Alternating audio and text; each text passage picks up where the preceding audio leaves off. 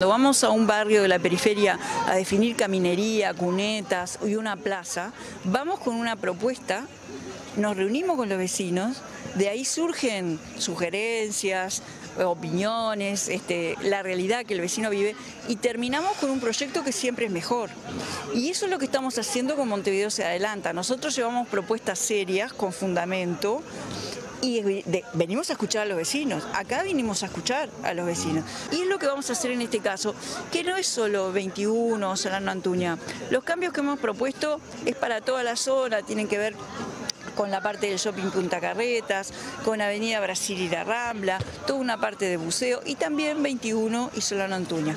Y la verdad que hemos tenido el equipo de la Intendencia tuvo anteayer una muy buena reunión con el, con el Zonal 5, que, donde participaron muchos vecinos, donde se hicieron una cantidad de sugerencias y observaciones muy buenas, se tomó nota de todo. Ayer el equipo tuvo una reunión con una comisión representativa de los vecinos, también muy buenas sugerencias. ¿Y en qué estamos ahora? Como en todo, como aquí, como cuando fuimos a Camino Mendoza, tomamos las sugerencias, pensamos y volvemos con un proyecto que seguramente va a ser mejor. Es nuestra metodología de trabajo, es lo normal y es lo que hacemos con cualquier barrio.